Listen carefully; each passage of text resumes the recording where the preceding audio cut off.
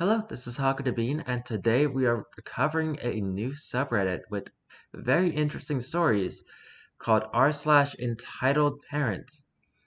It's not new in the history of subreddits, not even for most Reddit YouTubers, but it's new on this channel.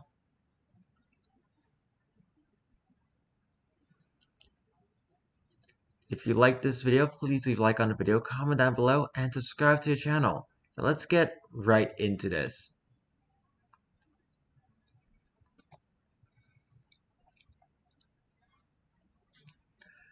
Entitled or senile? Also, I might have picked a few too many stories. Mildly worried that anyone in my fam will see this. It would likely be my sibling, but here goes. I, 40s female, have a mom who has uh, I there who has been either changing or dropping the mask as I got older. I was married, but the marriage ended in a decade over ended over a decade ago, and my ex, 40s female, and I have been co-parenting as best as we can. We both have new parent partners, and he is primarily the parent with his wife for my youngest. While me and my partner, 40s male, I thought your ex was also in the 40s and also a girl are primary parents to my eldest, the divorce in of itself is not an issue. It's the way she treats my kids when they're around versus how she talks about them in public. And how it feels like she's judging me and my kids. My eldest is home for a while on vacation from um, their job. We moved states last year to help with what uh, were told was a dire health emergency for my dad, late 60s. However, on arrival, agreements that were in place were suddenly null and void, and the health emergency was not the mental health emergency we were warned about, but a physical, a one that occurred several months after our arrival. We, partner and I, are used to are being used for free labor, paying half the household bills, and were actually tricked into moving so we could watch over my mom's assets and animals while she traveled for four months. The fuck? My dad didn't go, but his medical emergency meant he moved in with us until he was healed. We were supposed to be living in our current home alone, but mom declared she was selling her home and moving in with us because she's broke. Now we all live in a small place together, and my partner and I have no say over what happens at home. And he hasn't been able to find work in the field in his field since we moved. With my eldest, seemingly wanted to change how my child, 20s, was acting and disparaging who they were at who they are as a person, complaining about their hobbies, their lack of real friends, since my child hang out, hangs out a lot on Discord, and my child's sleep patterns. Gets caught being anyone under the age of, of 40. You should try it sometime. She doesn't like my style of parenting and can't figure out my why my child and I can be sarcastic and weird with one uh, another and still love each other. It's called actually caring about your parent, uh, about all of your children. It's called parenting based on actually being a family member rather than and being a boss who, instills fear in children. I should know. Me and my, my mom are very close to each other. My child had a job before they left for the, a new a career, so that we want uh, them to live at home for that brief time. But lots of side comments and coerced labor from grandma. If I dared complain, I get out a lot of passive aggressive remarks. She also comments from time to time how my youngest is entitled and spoiled due to her father making more money than I did, and for me allowing my children to pick where they lived for school. She complains my youngest chose money over their mom, which isn't true. My youngest has a close bond with their step sibling. I also have a younger sibling and who has two children, and she basically says the same thing. My sibling and I are making sure to break generational trauma with our kids. And since both of mine are legal adults and thriving, I feel we've done that well. When she's challenged on how she speaks about our children, she'll take aim at me and my sibling. I have been called lazy for not washing dishes or cooking or put away my laundry in my room. But I work two jobs and I do things on my schedule, not hers. She uses my partner for free labor, and she pouts when she doesn't get her way. She's also thrown temper tantrums. She didn't used to be this way. I don't know if this is who she is, or if she's truly experiencing an early onset mental disability that I need to worry about as I get older. Her behavior is inconsistent, and she is on medication for depression, for depression and anxiety. I am now as well. Should I be worried?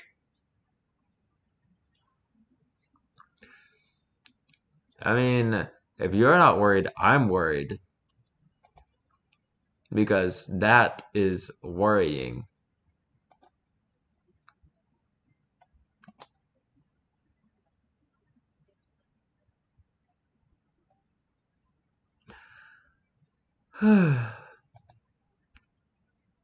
Sound will come any second now. There we go. Ah, oh, nah, it took so long.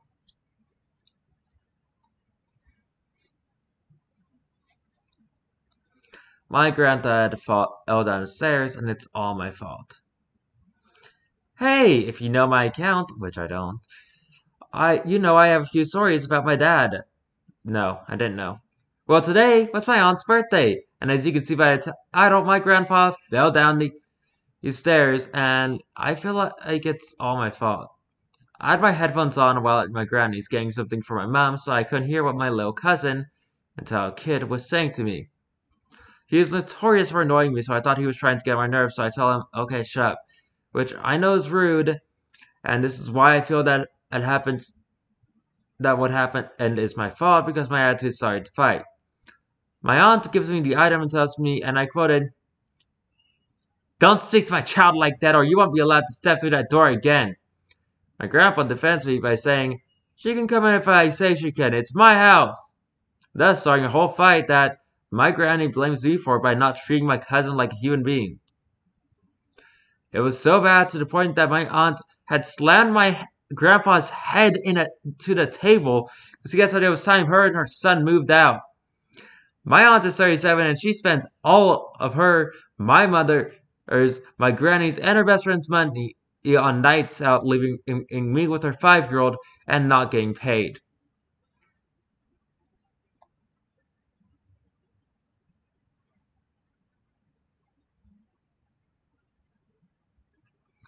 He went to apologize to my aunt while I had left with the thing my mum needed and he had fallen down the stairs.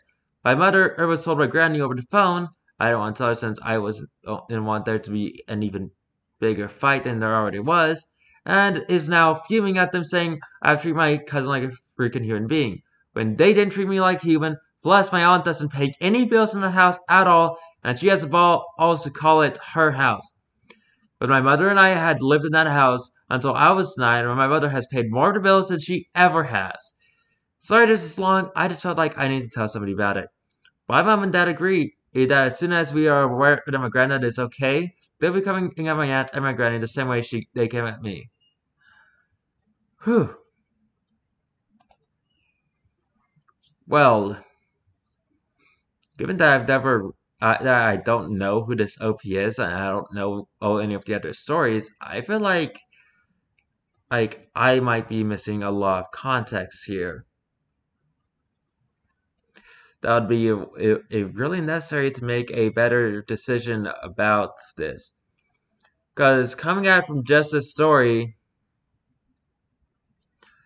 it does seem like OP wasn't entering their um, cousin and like human being, but it could very well just be that uh, uh, there was other or or more important details that we are completely missing in the story that OP says that we should probably look into other stories that uh, you've posted to find. So we're just gonna take this as a if we need more details and we need to find SOP's other stories in the subreddit in the future. Right now, we're going to the next story.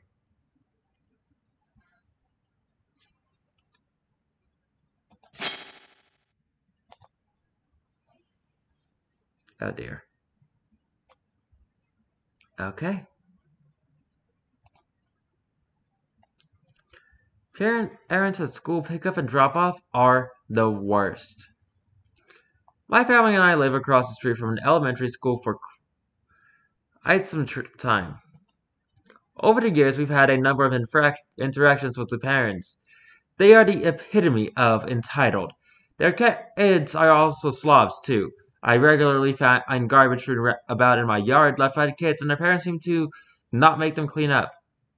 I was like, you are talking about an elementary school. I think of the teachers who would usually make the kids clean up in elementary school, but if you're talking about in your yard, that just seems weird. Parents let, let their kids walk through our yard and travel our flowers. Why? There is a sidewalk, so there's no excuse to let your kid wander through someone else's yard. Parents have yelled at us. We've politely asked them to not step on our on our flowers. Parents block and use our driveway. Parents will park in front of the driveway, blocking access because, God forbid, they have to walk a bit extra to find and parking. They will also use the driveway to turn around instead of drive 200 feet to a cul-de-sac to turn around like a civilized person. My neighbor growing up almost got hit in her own driveway by an tile parent rapidly pulling into her uh, driveway to use it as a turnaround. The car missed her by a few inches. Her mom could confronted the irresponsible driver and the entitled parent and yelled, Frick you! at the at my, neighbor's mother, along with other profanities and excuses why she's entitled to the driveway. My parents have asked other parents very nicely to not block the driveway or use the turnaround since we can in driveway to park our own vehicles. And it's not their property. Multiple other entitled parents have yelled, Frick you to my parents with their kids present as well. My mom once said, You really shouldn't talk like that around your kid. When your kid starts swearing in class, the teachers will know where it came from. Counterpoint Kids are going to run into people who use that sort of language regardless. It's just, it's weird to try and expect people to, not use that language. This set the entitled parent off even more with more F-bombs and other swear words. Ooh. All because he was asked to not block our driveway. I mean, yeah, they're overreacting, but you're putting a lot of weight on swear words. And they aren't that big of a deal unless you're a YouTube monetization. With SUVs and trucks getting bigger, these instances of blocked driveways or poor parking happen more frequently. Most recently, the entitled parents are moving our trash cans so they can take up the whole street. Our trash pickup is on Thursday, eh, and every Thursday for the past few weeks, the trash can has been moved and subsequently not collected. Either it's tipped over on the street and the can is cracked, now, also some idiot parent probably hit it, or it is dragged up the driveway and next to the house. What kind of entitled old a-hole grabs someone else's full trash can hauls it up someone's driveway, and it and just feels like they're right in their actions.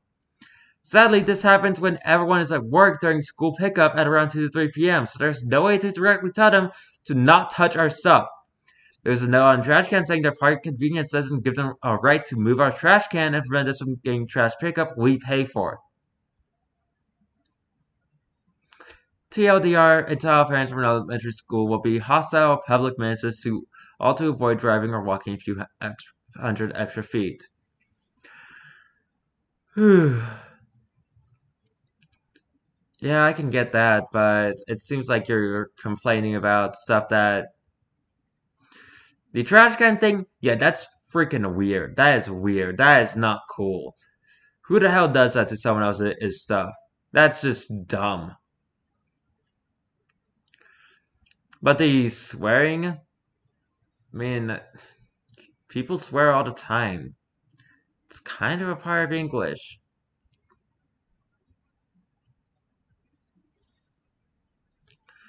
Hell, I even swear most of the time, as you might have seen in my longer videos that get longer than 10 minutes. Oh, we're already there. I could have been swearing. Now let's get to the next one. This one being called Starting to Hate My Mum.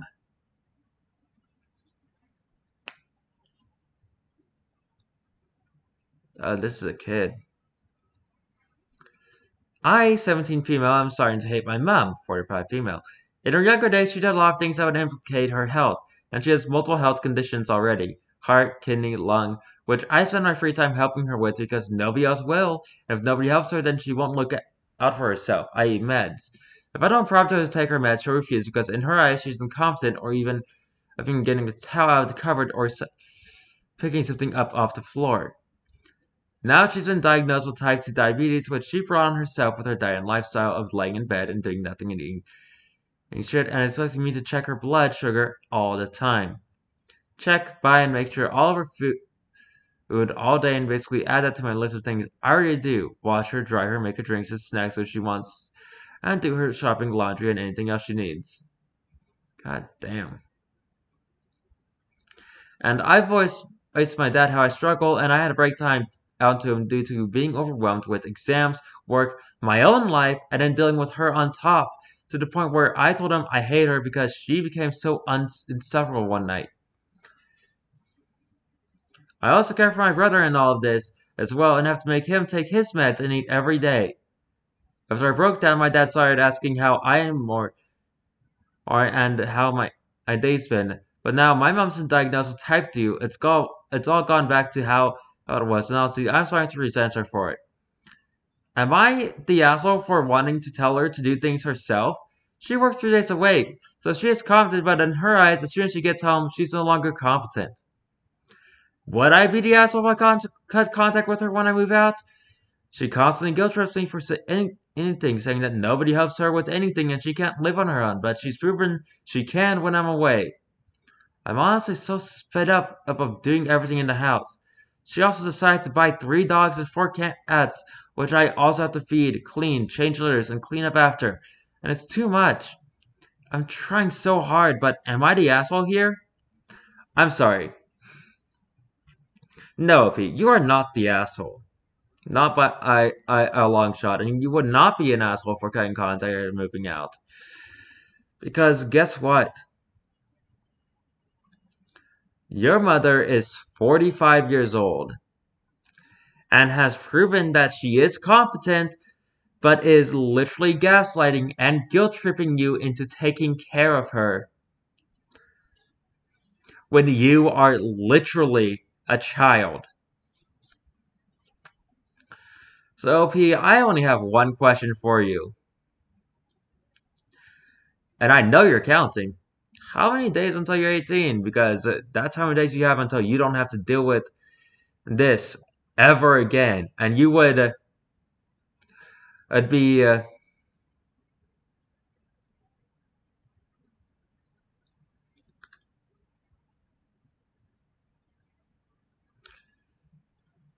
because this is just this is just child abuse and I'm not sure what the situation is with your father here, where he's just like I I at most asking how your day's been, but it sounds like you live separately from he lives separately from your mother, but if he doesn't, wow. Like she needs to grow up. She is making you, the child, a parent in the house between you two. And that is not okay for a mother to do. Anyway, let's move on to the next tab. That's actually a little upsetting. Moved 1,000 miles from away at 15 and still let my parents disrupt my life. A rant. 21 male here. My my parents and I have a very complicated relationship. I was raised in a very small Midwest town where everyone knows everyone. When I was 12, my parents decided we should uh, move to Tampa for better jobs. I was resistant to this because I was very comfortable and settled in my town. And the moved had problems. I struggled with mental health and became very depressed. My parents did not handle this well, especially my dad. My parents then divorced. My dad started spiraling into his own depression, and my mother kept at kept us while he lived in, a, in an apartment.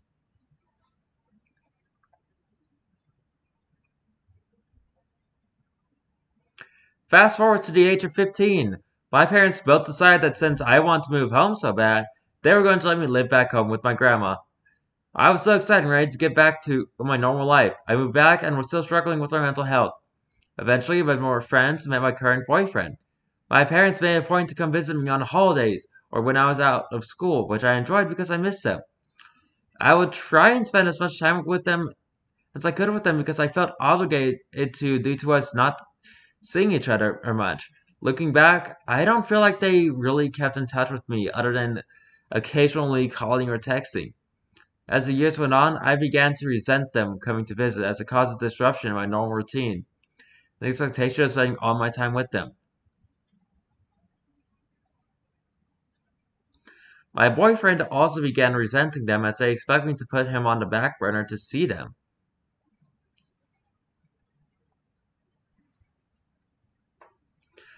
My mother has gotten better about decreasing her expectations as she has other family to visit with, but I do feel guilty still.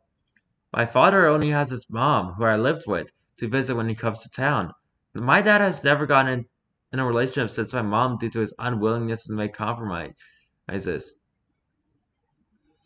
He will tell me two to three weeks before he's coming and expect my life to fall into place with his schedule. Overall, he is a hot mess.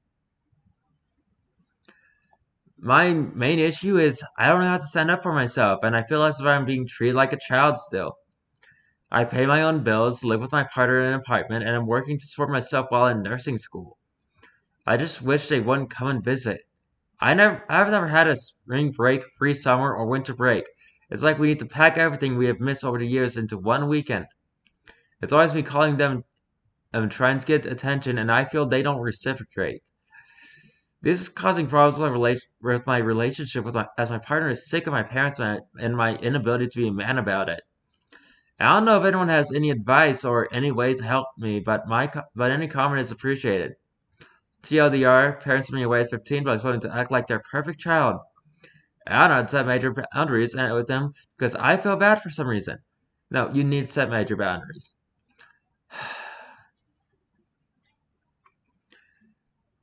you need to set at, boundaries with everyone. You, everyone has boundaries. You have to set them, and you have to make them clear.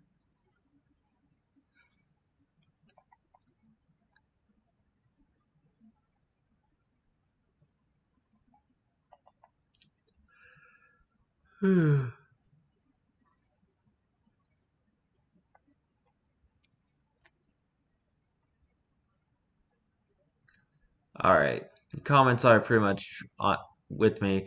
Therapy and um, setting boundaries, and also looking for advice in a subreddit called r slash raised by narcissists. Although I'm not sure if I if if the first idea of advice that I would give someone would be go check out a subreddit. Me, it would probably be go to therapy. It's for the best if you talk to someone who can actually help you explore why you can't say no or set a boundary with these with, with your parents. Anyway, to the next story we go. Okay. My sister, 13, sleeps with my mother, 48, in the master bedroom, sharing the bed sharing the same bed. While my father has been sleeping in the living room for 15 years. My father preferred to build a garage extension rather than expand our living space. Okay, this is uncomfortable for me.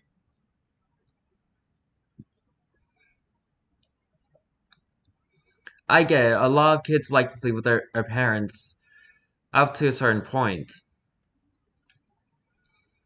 But seven is a cutting off point at the latest. Most people do it when they're like like, toddlers and stuff.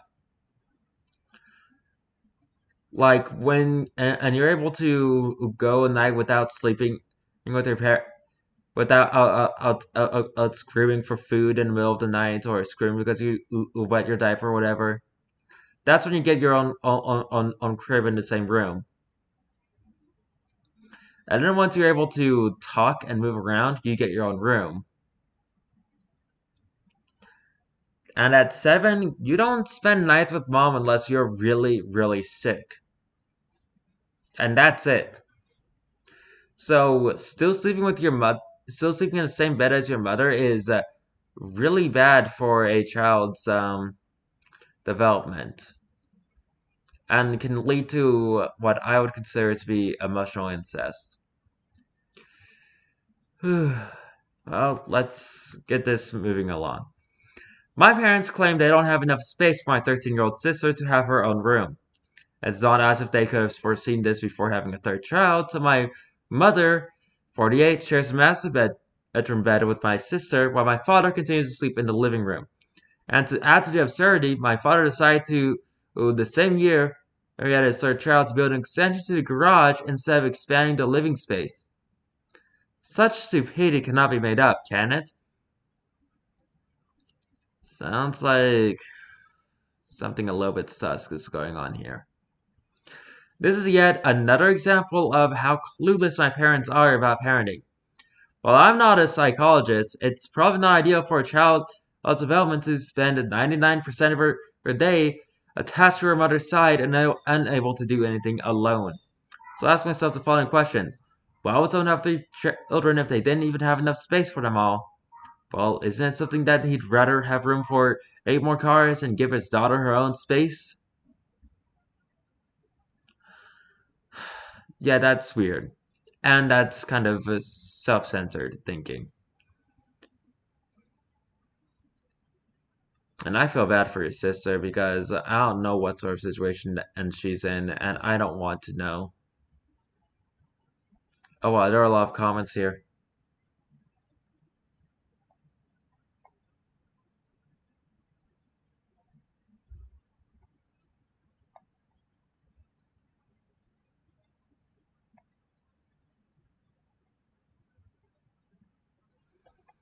Why? Oh yeah, since he's been sleeping with in the living room for for 15 years, I doubt it has anything to do with your 13 year old sister.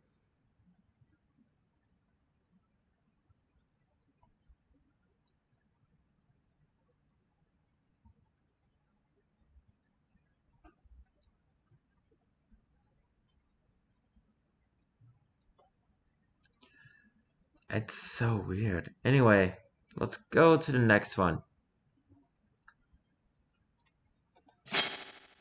Oh, I think this one is a little bit of um enforcing gender roles, which are which is kind of gross. My mom threw out threw out all of my coziest clothes because she thinks they're lowering my feminine energy. So basically, she's trying to enforce gender roles on you. That's disgusting. She bought a new wardrobe for my room. When I came back to home, I saw she already put my clothes in it, so I just thanked her and, her and stuff. Then I realized none of my favorite clothes were there, so I asked her about it, and she said, I don't know anything about it. They're probably in the laundry bag. Uh, uh, and I didn't mind about it. A week passed, my clothes still were missing, so I asked her again. She said, Those ugly clothes are lowering in your feminine energy and confidence, and that I can't find any guy to like me with those clothes. Girl, I am a romantic. Even if I wasn't, I do not want anyone who just cares for my clothes. She threw out almost everything that now I have to, like three to four things to wear at home. I just can't stand it.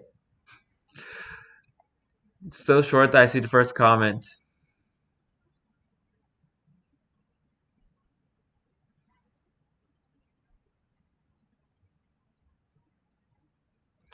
Go throw oh, a bunch of her stuff away.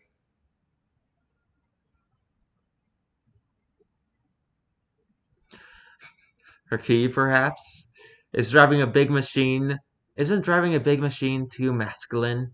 Want to bet it will be a case of rules for Diva, not for me. For OP? E? OP, move out if you can. Otherwise, lock up everything you value because nothing is safe from her.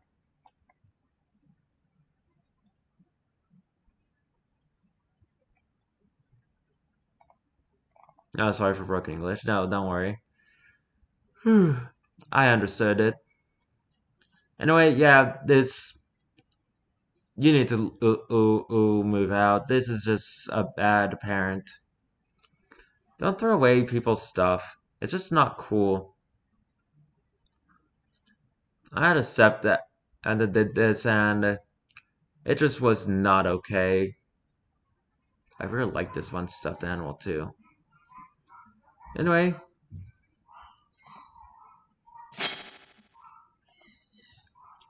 This has been r slash Entitled Parents. If you like this video, please leave a like on the video, comment down below, and subscribe to the channel. I have no idea what I'm going to be doing tomorrow, so until then, goodbye!